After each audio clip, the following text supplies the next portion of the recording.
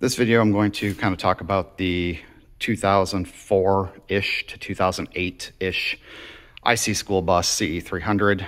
Um, this has the DT466E engine in it, 7.6 liter. Um, so let me start by saying that I am not a mechanic, but sometimes I have to pretend to be one.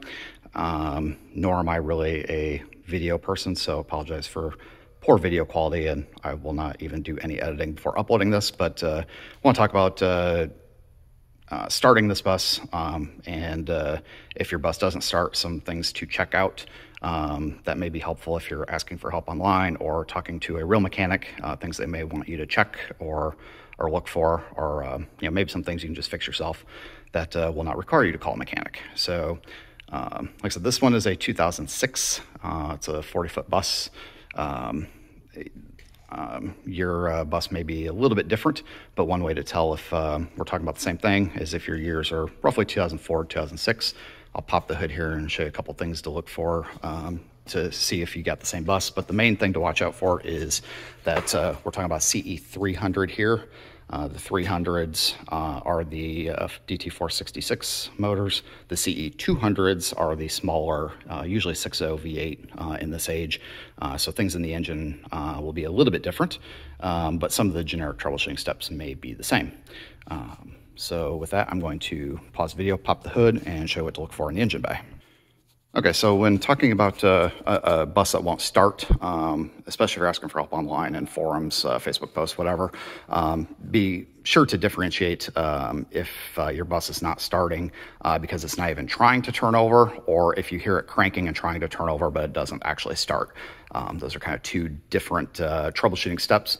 So the stuff I'm going to talk about is if it doesn't even try to start, won't even uh, you don't even hear it cranking, turning over, starter's not running, things like that.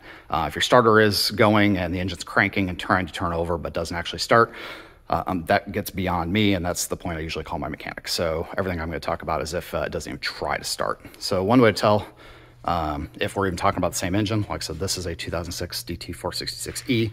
Um, if you're after about 2004 or so, uh, your bus will have on the usually passenger side of the engine, this long tube here. Uh, it can be round or it can also be kind of square rectangular that is called the EGR cooler. Uh, that's an emission standard that came out in roughly 2004. So most engines, approximately 2005 and after, are going to have that, um, at least with the 466s. Um, and then on the newer end of the spectrum, uh, I said roughly 2008, and the way to tell that if we're still talking about the same engine is the actual color of the engine. So if your engine is this uh, kind of light bluish, bluish green color, um, that is uh, pre-MaxxForce.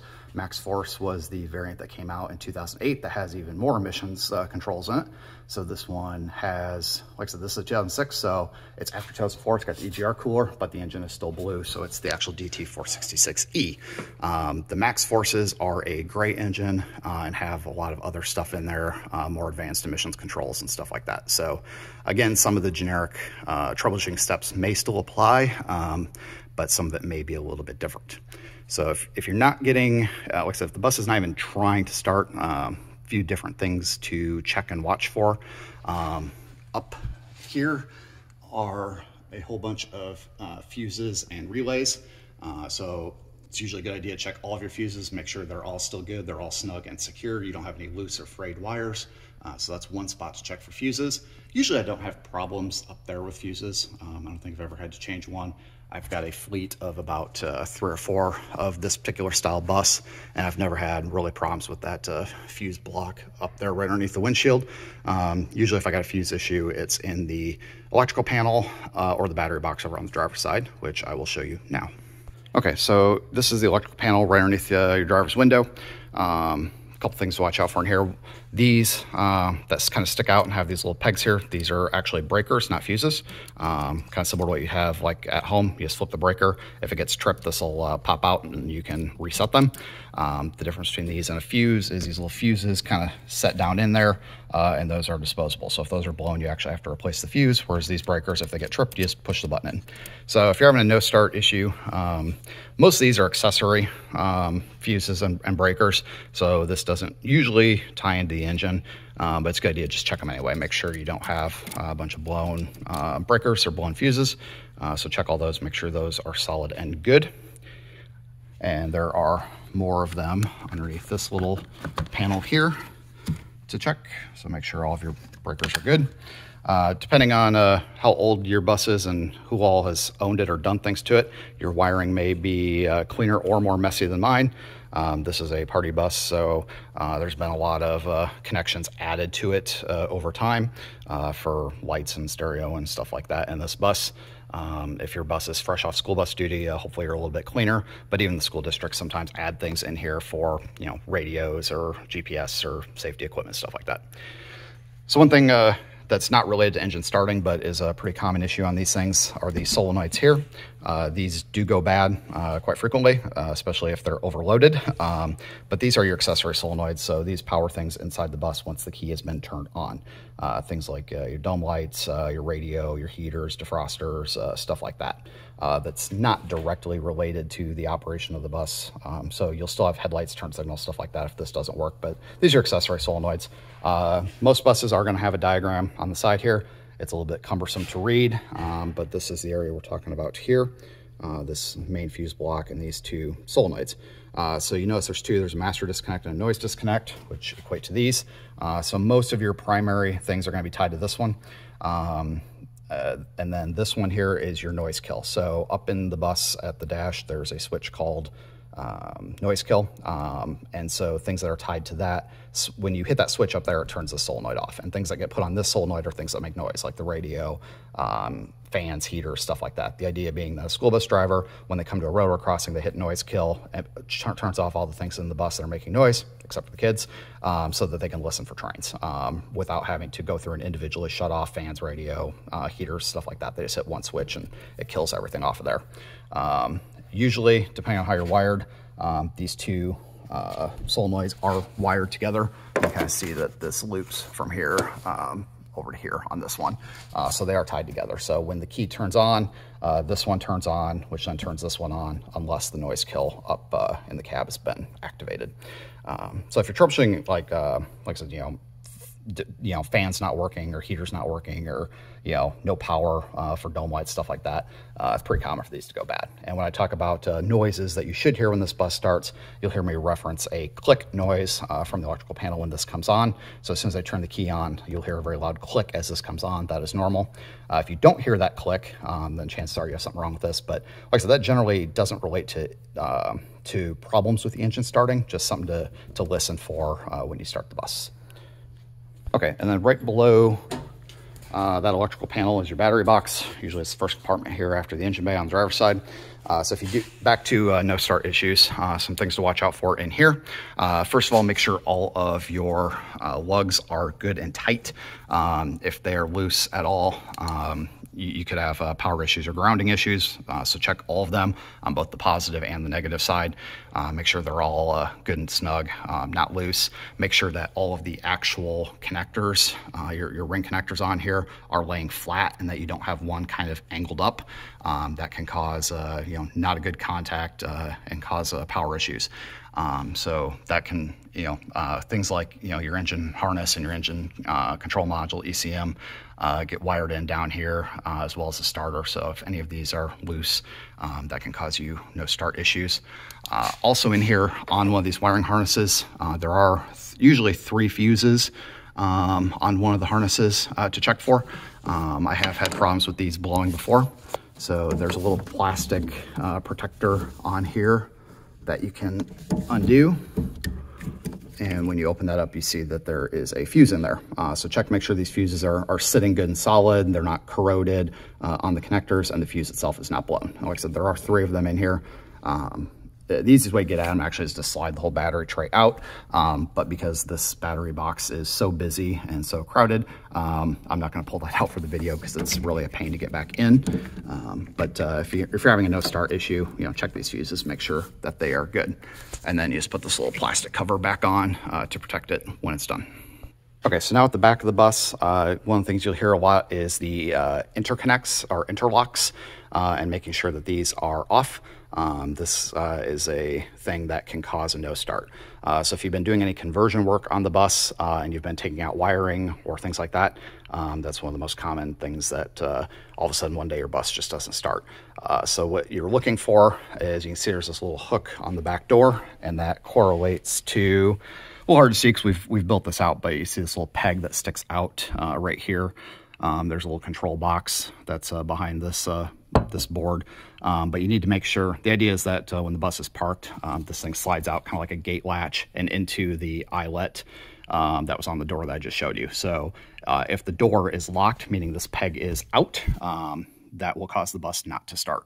Uh, or if you've disconnected any of the wiring in here, um, that will also cause the bus not to start. So you need to make sure your wiring here is intact or has been removed correctly from the panel up front, uh, and then make sure that this thing is in the uh, door open position. Because like I said, if, that, if this uh, thing is in the door closed position, that will cause you a no start issue. Okay, up inside the bus, a couple things to look for if uh, you're having uh, no start issues. Um, one of the things I mentioned before was that noise kill switch, uh, which on this bus uh, has been removed, but it's usually one of the uh, panels right here, or switches right here. Uh, it's usually orange or red in color. Uh, it's your noise kill. Um, so if some of your things in the bus are not working, like uh, heaters, fans, stuff like that, um, again, doesn't relate to a no start issue, but just general troubleshooting. Um, you know, make sure that, that switch is in the uh, correct position and, you know, the wiring is all good there. Uh, but back to no start issues, um, make sure your, your transmission is in neutral. Uh, most of these buses have uh, an Allison 2500 um, uh, transmission. The only really way to know what your transmission is is to actually crawl under the bus and look at the plate on the transmission. Uh, but you can kind of tell by the gear shift selector. If you have an electronic touchpad display, that's usually a 3000 series. Um, the T knob here is usually a 20, 2000 series or a 2500, which is what this is. This is the most common.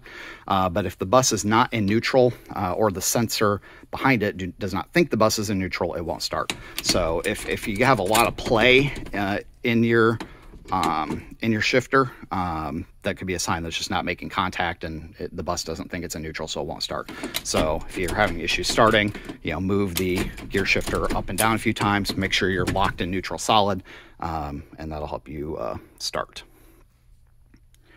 So then uh, things to watch. So on a normal start, uh, what'll happen is as soon as I turn the key here, um, we, we, will hear a series of noises. Um, it's pretty quiet in the shop today, so maybe you'll pick it up on, on the camera. Um, but uh, the first noise you're gonna hear is that loud click coming from the solenoid panel outside. Um, that's the accessory solenoid coming in. The next thing we'll hear is a very low buzzing noise uh, coming from the engine compartment, um, which will last about five ten seconds. Those are the fuel injectors buzzing.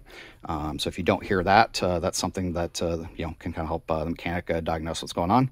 And then you will hear a series of tick, tick, tick, tick noises, which are the ABS on the wheels. Uh, the testing of the ABS. Um, so you'll hear them in series. They'll kind of fade loud to, to soft as it goes from the front wheels to the back wheels, which are a little harder here. Uh, a couple other things we will notice once I turn this key on is depending on the temperature, um, you will get a wait to start light, which is orange. And what that is, is it's the grid heater inside the engine running. Uh, in warmer weather, uh, that may not uh, happen. In colder weather, it does. Um, it's the equivalent on this bus of a glow plug. Uh, the, these buses do not have glow plugs. They just have that little grid heater. Um, and so while that, uh, it's cold enough today, it's uh, about 50 degrees inside my shop. It's about 20 degrees outside. So I expect uh, the grid heater will try to run for a little bit. Um, so when I turn the key on, uh, we will get the uh, parking brake light that comes on. This bus does have air brakes. so while this is engaged, that light will come on. We should get that orange wait to start and we will watch the battery meter. Um, so when that grid heater is running, it draws a lot of power. So your voltmeter uh, here on the dash uh, will be registering very low while that grid heater is running. As soon as the grid heater is done running, the wait to start light should go off and we should see the uh, voltmeter rise above 12. Um, so one other thing that I did not mention when I was out in the battery box is make sure you know your batteries are well charged. Um, that this gauge is kind of a signal, but it's not super accurate. You should use a multimeter on the batteries themselves to check their level. Um, you want to be at at least 12.6 volts, uh, ideally 12.8 or 13 or higher um, for, for, for good starting condition. Um, so I, anyway, when I turn the key, uh, we'll, we'll see this sit really low until the grid heater's done, and then we'll see the voltmeter rise up. Once I wait to start light is over, I'll go ahead and crank her over. And like I said, then we'll, uh, um, uh, the engine should start.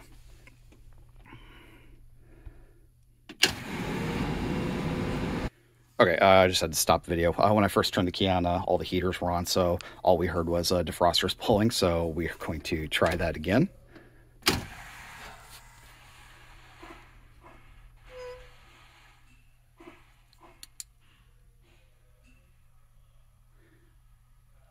Okay, so the grid heater did not actually run uh, this time. Must uh, The bus must be warm enough inside the shop. So um, uh, we did not get that orange light, but you can see my voltmeter is up above 12. Uh, and cold conditions, like I said, that battery meter would be sitting at about an 11 or so while that wait to start light was going.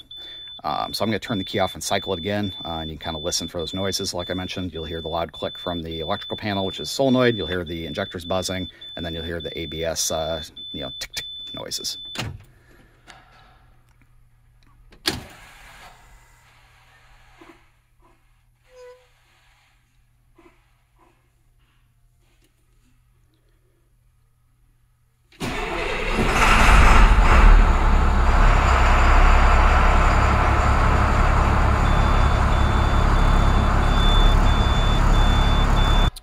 Uh, so that's what it should sound like when you're starting. Uh, I went ahead and turned it off uh, so uh, you can hear me and not just the engine.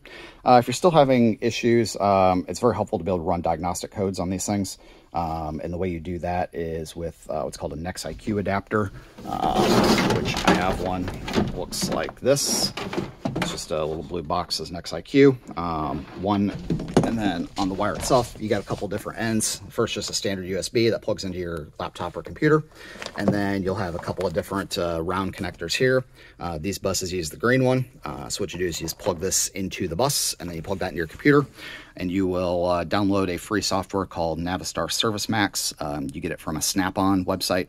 Uh, it's free to download uh, and install uh, for this generation of buses. There is a newer version called Navistar Engine Diagnostics, uh, which you have to have for the MaxxForce engines, uh, but these older, um, you know, 466Es um, from, you know, prior to 2008, uh, that software is free for those. This adapter is uh, pretty expensive. Um, it's about 700 bucks uh, to buy a legitimate one. Uh, there are Chinese knockoffs um, that some people have reported good luck with. Uh, your mileage uh, may vary. This is actually a legitimate one I bought several years ago. Uh, paid a lot of money for it. Um, it. it. was a hard pill to swallow at the time, but this thing has been a lifesaver more than once. Uh, so what we do with that is we plug it in. Uh, the plug for this is actually underneath the dash, uh, kind of back behind the radio here. Um, so I will uh, crawl uh, down there, pause video, crawl under there and kind of show you where that is and how to hook that up. And then you connect it to your laptop and run the software um, and you can pull the uh, diagnostic codes and that can help you uh, troubleshoot uh, some different issues. Okay, so I'm down on the ground here uh, under the stairwell. Um, you can see the, the driver's area. there's that radio I was talking about. so where we're going is right up underneath here. There's a little round connector. Where is it? Get in frame here. Uh, there, there she is. Uh, it's right up underneath the dash here.